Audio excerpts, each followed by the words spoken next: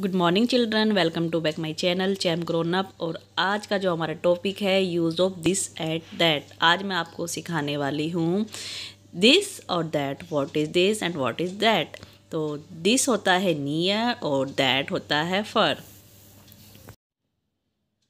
तो this is a book and that is a book यह एक किताब है और वह एक किताब है। सबसे पहले हम बात करेंगे this this this word is used for the thing or person which is close to us and should be in singular form. For example this is a car जैसे कि मैंने आपको बताया है कि जो वस्तु हमारे पास होती है, उसका सेंटेंस बनाने के लिए हम वहाँ पर दिस का यूज़ करते हैं और जो यह थिंग सिंगुलर हो, या एक हो लाइक एक car. This is a car यह एक कार है. मैं फिर से रिपीट कर देती हूँ। This this word is use for the thing और person which is close to us and should be singular form for example this is a car हम बात करते हैं दिस की, कि दिस का यूज़ कहाँ, कब और कैसे करना है। तो दिस का यूज़ सिंगुलर थिंग के लिए करते हैं और दिस का यूज़ जो वस्तु या थिंग्स हमारे पास होती है, हम उसके लिए दिस का यूज़ करते हैं। Like this is an apple यह एक सेब है।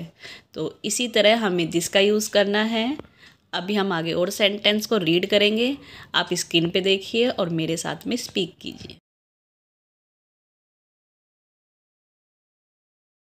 वॉट इज़ दैट दैट अब हम बात करेंगे कि दैट क्या है और दैट का यूज़ कहाँ करते हैं। तो that that word is use for the thing और person which is far from us and should be in singular form जो हमसे दूर होता है, उन सेंटेंस को बनाने के लिए हम वहाँ पर दैट का यूज़ करते हैं। लाइक like जैसे हमसे अगर कोई वस्तु दूर है लाइक like काइट तो हम उसके लिए बोलेंगे दैट इज़ अ काइट मैं फिर से रिपीट कर देती हूँ that that word is use for the thing और person which is far from us and should be in singular from for example that is a chair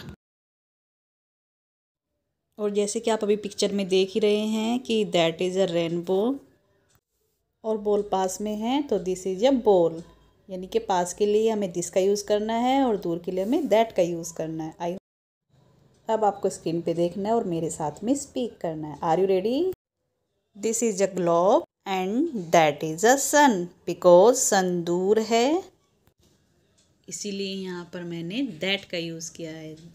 And this is a globe and that is a sun.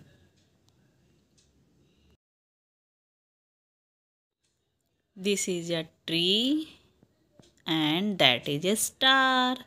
This is a tree and that is a star.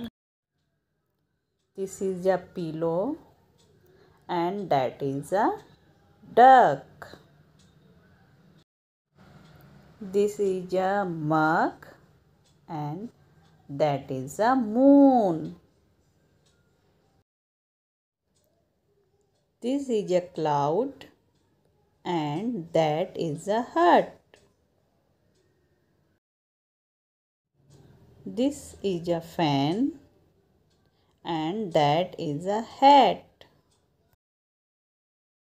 I hope अभी आपने video को तो है बहुत ही ध्यान से देखा होगा और मेरे साथ में स्पीक किया होगा। आपको समझ आ गया होगा।